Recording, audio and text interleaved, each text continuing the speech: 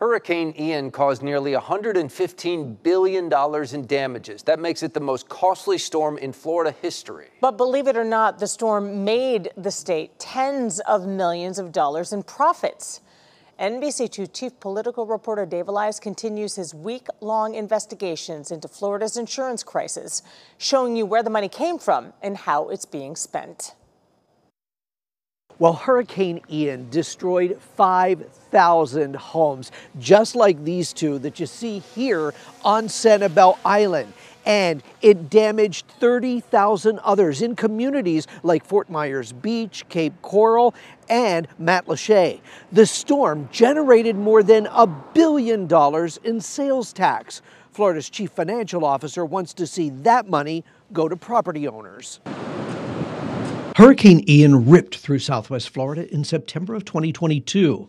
Our foundation sat at 13 feet above sea level and it was underwater. So doing the math, it was a 26 foot surge. The storm causing more than $115 billion in damages statewide. Our house was a complete loss. TJ and Lisa Lanners, like many, were forced to rebuild everything, spending hundreds of thousands of dollars. With all that pain and suffering, the state becomes a beneficiary. CFO Jimmy Patronis pointing out that the state made money during Ian. Hurricane Ian generated $1.4 billion in new revenue for the state from sales tax. That sales tax came from all of the money you spent to rebuild. That's pain and suffering money. That money, in my opinion, is obligated to come back and help those and how their relief and how their recovery takes place. The bulk of the money going to the My Safe Florida Homes. That's grant money to help strengthen your home and bring down your insurance rates. This is just one way we're ensuring that you get your dollars empowered to put back in your pocket. Beginning tomorrow, the state begins its tax free holiday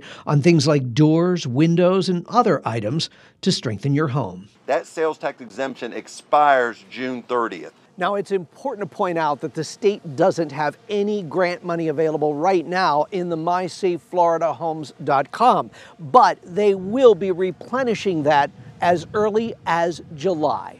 On Sanibel Island, Dave Elias, NBC2. Make sure you join us tonight at 8 for our NBC2 special report on Florida's insurance crisis. We're looking at everything from how things spiraled out of control to how you can save on your policy. That's tonight at 8, right here on NBC2.